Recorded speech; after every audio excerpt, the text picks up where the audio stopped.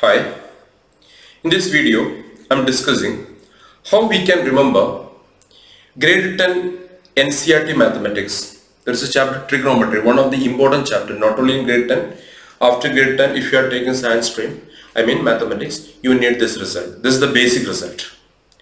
Grade 10 a lot of results are there. You might know what is sine, cos, tan, cosec, sec, cot. To remember sine, cos, tan, we have a code SOH. This code we can use what? SOH, CAH and TOA. I used to call SOHCAHTOA. SOHCAHTOA. Sine means sine is opposite by hypotenuse. For timing we are taking right angle triangle ABC and this we are considering for in the basically we are considering for what acute angle. So these two are the acute angle this and this. So according to this angle this is the opposite side this is the hypotenuse side and this is what adjacent side. So sine is opposite by hypotenuse. Sine of which angle? Which angle is given? Based on that you are right. Sine is what opposite by hypotenuse. Cos is what adjacent by hypotenuse. Tan is what opposite by that only the SOHCAHTOA. Sine opposite by hypotenuse. Cos adjacent by hypotenuse. Tan opposite by adjacent. These are the basic thing and this reciprocal. What is sine reciprocal? Cosec, cos reciprocal sec and tan reciprocal cot. And you know, you already learned that one complementary laws and reciprocal ratios, complementary laws. What is complementary ratios? Sine complementary cosine, cosine, complementary cosine. Uh, tan complementary, cos complementary is what? Sine. Tan complementary is what? Cot. Uh, cosec complementary, cosec, complementary sec, sec complementary, uh, cosec, tan complementary, cot, cot complementary, tan. That everything you learn. And after that you learn identities. What is the identities? Uh, cos square a plus sin square equal to 1. Cosec square a minus cot square equal to 1. Sec square a minus tan square equal to 1. A lot of results are there and these rearranged results also. How we can remember this everything easily in a single diagram? We have six trigonometry ratios. That is what sine, cos, tan, cosec, sec, cot. Is it? So I'm just going to draw one hexagon. Listen, this we are calling super hexagon or magic hexagon. In this hexagon, whatever result you learn in grade 10, completely you can. See, I'm just writing a hexagon. Listen. Why hexagon? Because we have six trigonometric ratios. Everyone should remember what result? sine A by cos A equal to what? Tan A. That result don't forget. This already we proved. Tan A equal to what? sine A by cos A. This only you have to remember. Tan equal to what? Sin A by cos A. Cot A equal to what? Cos A by sin A. That I am going to mark in the diagram. This how we are marking that you have to remember. To remember that I am telling tan A equal to sin A by cos A. Like that we are right. Now opposite to tan you write cot. Again I repeat tan A equal to what sin a by cos a and opposite to tan you write cot. Now just think about there is an imaginary line. There is an imaginary line. Just there is an imaginary line. So which one is starting with the co?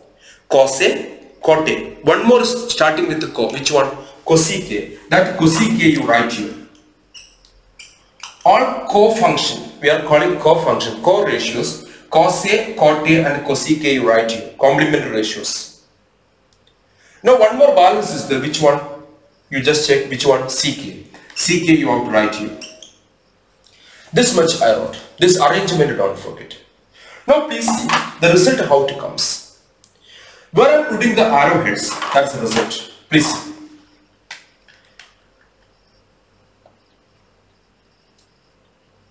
First result is coming.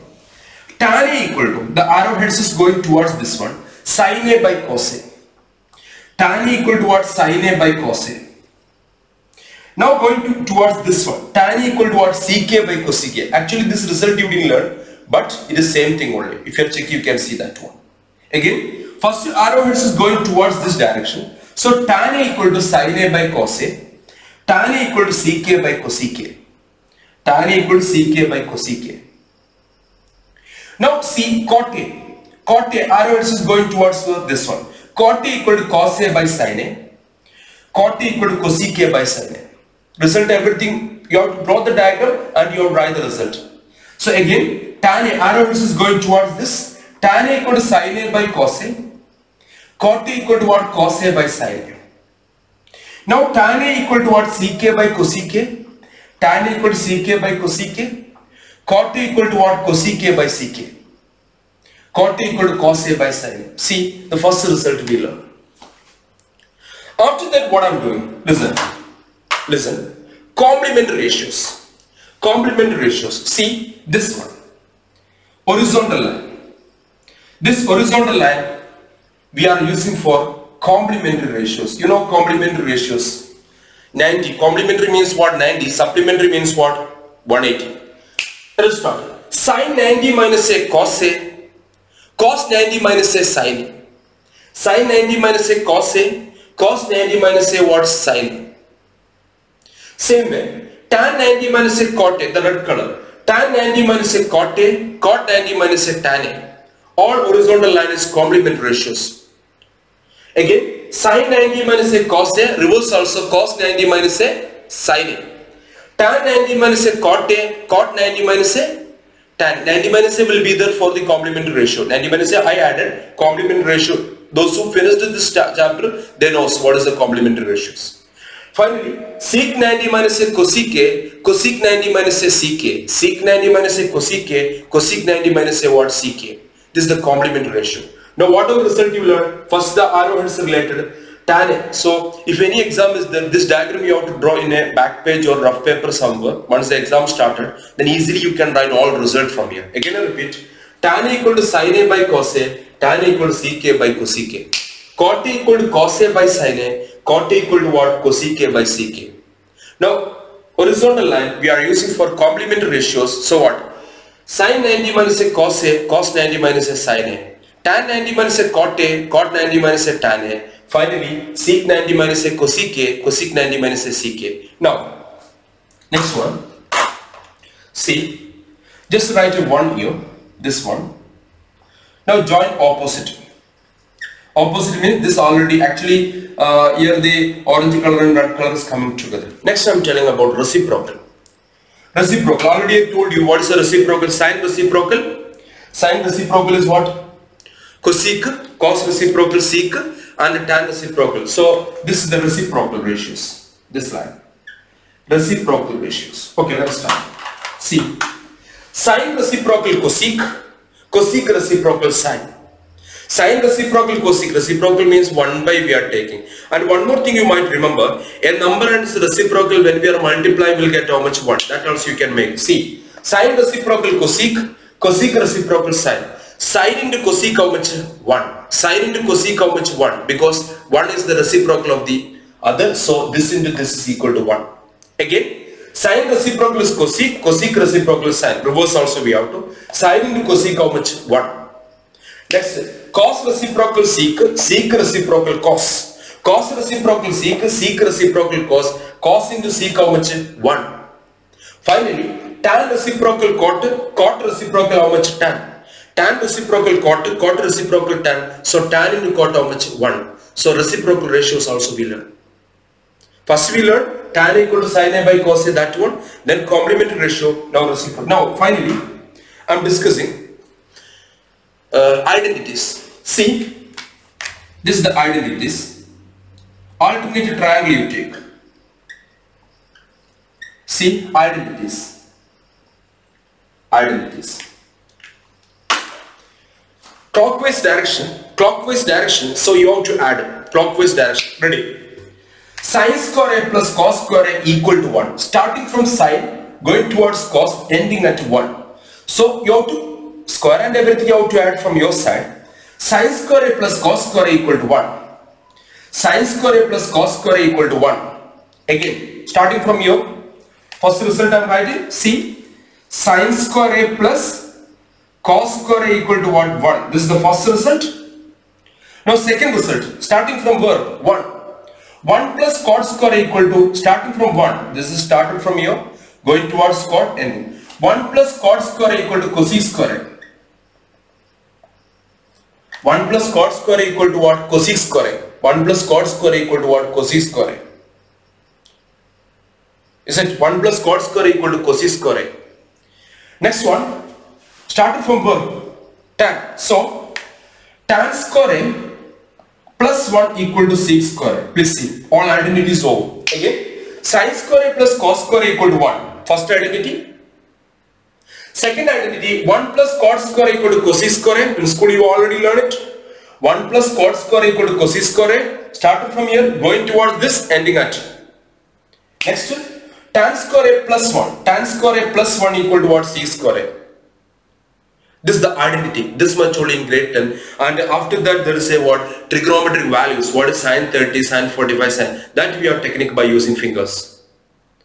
That will tell you, just uh, try to understand this one. Didn't finish, again, reverse the also we can move. I told you clockwise direction you have to add, anti-clockwise you can solve. Anyway, when you are rearranging many result you will get from here.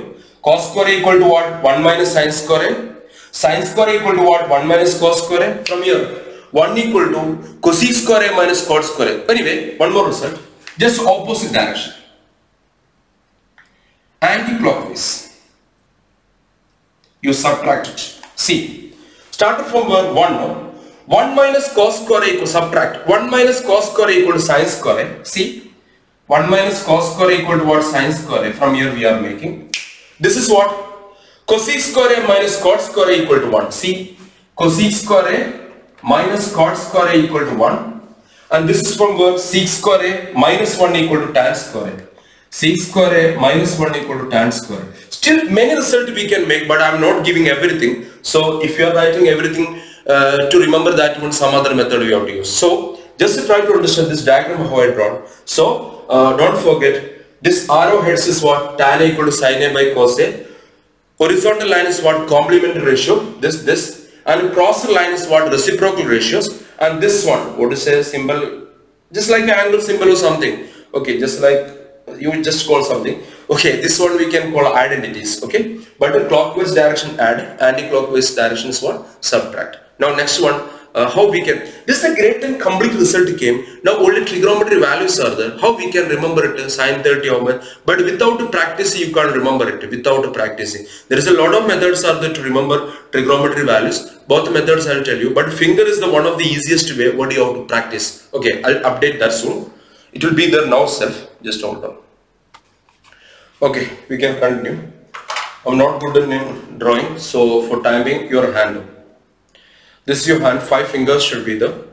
If anybody has six fingers or four fingers, we can't use it properly. On this finger you have to mark, here you mark 0, here you mark 30, 45, 60, 90. Because that much values only are there in our uh, table, is it? So here you have to mark 0, 30, 45, 60, 90, this one. And this thumb, you have to mark sine and this uh, baby finger you have to mark cos. Or not that one or either side. Because on the finger we cannot mark this side so I marked over here. So this side sine side that side is what? Cos side okay? Cos side. Now listen how we can? Listen carefully there is another method also is there that also I'll tell you how we can remember it sine 30 of which if anybody asks sine 30, just hold sine 30. Not only that one, I am writing cos 30 also. This is sine 30, we just hold it. So sine side how many finger? When we are holding sine 30, sine side how many finger? 30. The finger 30, sine side 1 finger, cos 30, 3 finger, cos side 3 finger. So sine side 1 finger, cos side 3 finger, is it? When we are holding sine side only one finger, cos side three fingers are there. Cos side how many fingers? Three fingers are there. Am I right? Okay, fine. Now, after that, both the number you divide by 4, take root 1 by 2. This is root 3 by 2. You got the answer. This by practicing only you can. By practicing only you can. Now next I am going to hold. This how much? 45. So now I am going to hold 45. See 45. Listen, sine 45, cos 45, how much? Sine 45 when we are holding, sine side two fingers, cos side also two finger. Both you divide by 4, take root. So you know when we are dividing 2 by 4 how much? 1 by 2. 1 by 2 root how much? 1 by root 2. 1 by root 2. We got that also. Next I'm going to hold 60. This is 60. See? 60. How many fingers? 60. How many fingers are those? Sine side 3, cos side 1. See? Sine 60, cos 60. Sine side 3 fingers, cos side 1 finger. Am I right? This is 60, sine side 3 finger, cos side only 1 finger. Both you divide by 4. Take root. What is root of 3 by 4? Root 3 by 2. Correct only. This is what 1 by 2. Now, we finished 30, 45 and 60. Now, many people say it is difficult to remember. It is not like that. By practicing. Immediately sir is coming to the class and asking, what is sine 30? You don't be panic. Sine 30, one finger, 1 by 4 root, one finger. Sine 30, one finger, 1 by 4 root, 1 by 2. Uh, cos 30, 3 finger, 3 by 4 root, root 3 by 2. So sine 45, 2 by 4, 1 by 2, that root 2. Always you divide by 4, then take root. Now this is 60, sine 60, 3 finger, 3 by 4 root what? Root 3 by 2. Like that easily you can find. Didn't finish. Now 60, sorry, 0. Now I'm taking 0. 0 this one. What is sine 0? What is cos 0? See. 0 means this one. Sine said how many fingers? There is no finger. Zero. When we are taking, holding this one, there is no finger. So 0. Cos said how many fingers? When we are holding cos said 4 fingers are there. So 4 finger. Both you divide by 4, take root. How much? 0. This is what? 1. Now 90. How many fingers sine said? 4 finger. Sine 90. 4 fingers are there. This one. 4 by 4 root 1. And cos side any finger? No finger. So cos 90 is what? 0. This is the way to remember quickly. But another way also is there. To remember sine. That's what you can write 0, 1, 2, 3 up to 4. Completely you divide by 4. Then take root. This is the value of sine. Sine 0, 0. Sine 30, 1 by 2. 1 by 4 root 2, 1 by 2. Sine 45, 1 by root 2. Sine 60, root 3 by 2. Sine 90, 1. And reversely when you are right, you will get what? Tan, uh, cos. That just sine and cos is just reverse. Reversely when you are right, you will get what? Cos. Is it like that? But this is your right hand. But this by using fingers easily you can find. Didn't finish. I discussed only sine, cos. Now tan how we can find.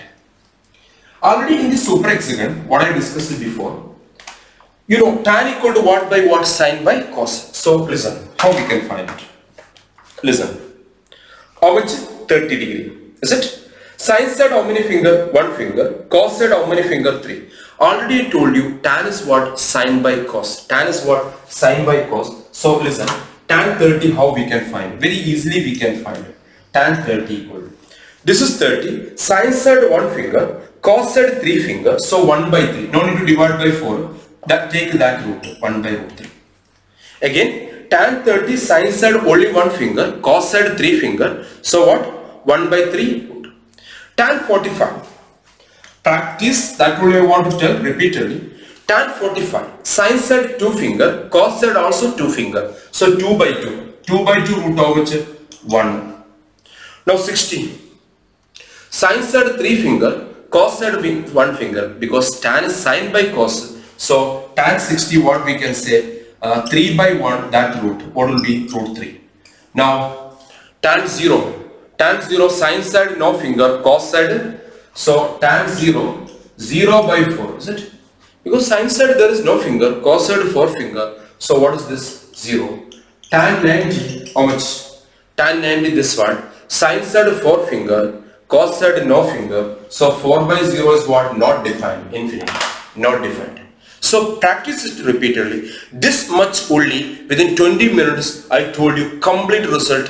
One is by using one diagram, one is by using the fingers. So easily you people, people can remember don't memorize it, don't by heart it, don't by heart it, but diagram you draw and practice, 100% it will work and it will be very helpful to you. And like that grade 11 results also many codes are there to make. So for, for time try to understand, draw the diagram and practice it. a Finger especially how to practice, of course you can. By writing, by using pen you can. Uh, practice it of course you can remember okay that's i hope you understood this one okay thank you